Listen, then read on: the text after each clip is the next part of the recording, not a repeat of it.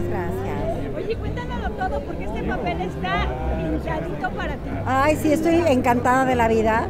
Estaba luchando profundamente para, para poder este, retomar mi carrera como actriz después de tantos años de dedicarme especial y únicamente a la conducción.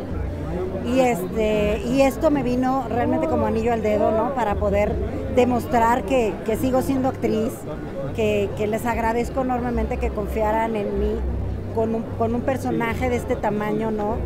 y que tiene esta relevancia. Entonces estoy súper contenta. Nos consta que luchaste por regresar a la actuación después de tantos años de la conducción. Sí, no me creían muchachos, no me creían. Se me andaban ahí pensando cosas raras, pero no.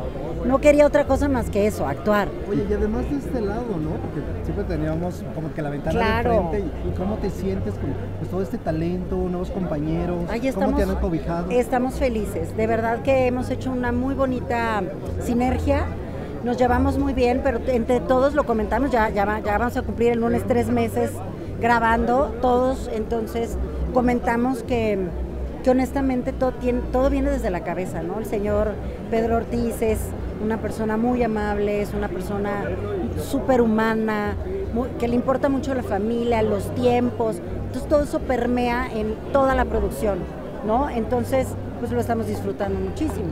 Oye, Llevas parte del peso de la telenovela, eres parte tú fundamental del peso. Sí, yo me meto con todo el mundo, pero desde los mineros hasta con César Évora, que es mi esposo, ¿no? Entonces, sí, ella tiene que ver con todo. Yo a veces les digo, ay, pero ¿por qué? ¿Por qué empiezo y acabo los llamados todos los días? Pues por metiche, porque se anda metiendo con todos, ¿no? Tiene que ver con todos. Oye, pero Oye, ¿cómo disfrutaste esta villanaza? Porque yo, bueno, lo que vi, bueno, entre que me daba, hay, hay un toque como de comedia un poquito por ahí, pero la villana es dura, o sea, sí, todo un poco, sí, sí, no, no, no, y además no solamente es, es mala, es una persona psicópata.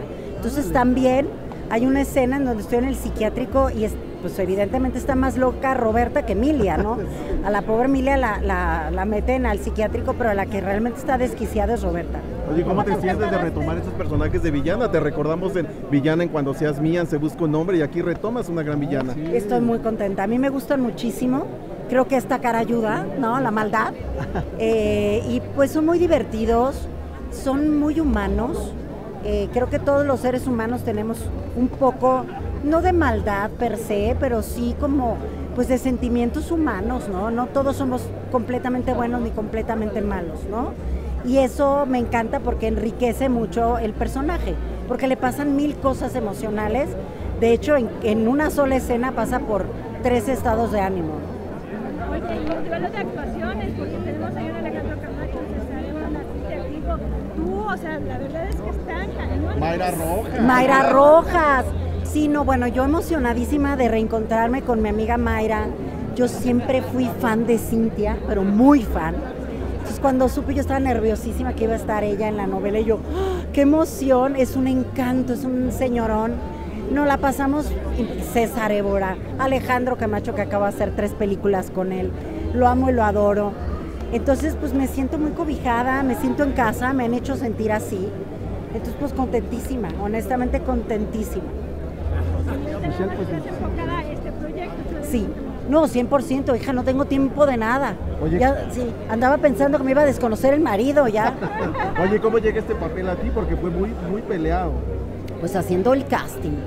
La verdad que yo cuando me enteré que estaban haciendo este casting, eh, pues obviamente levanté la mano, dije, por supuesto que lo quiero hacer. Estaba muy nerviosa, honestamente pensé que iba a ser casi imposible, sabemos la cantidad de talento, la gente que tiene toda la vida aquí. Y este, pero bueno, lo hice con todo mi corazón. Me sentí muy cómoda con el personaje y al día siguiente me avisaron que me quedé. O sea, normalmente tardas un tiempo, pero creo que tenían un rato buscando el personaje. Entonces, para cuando yo llegué, ya fui como la colita y dijeron, bueno, vamos a dárselo a la señora a ver qué tal.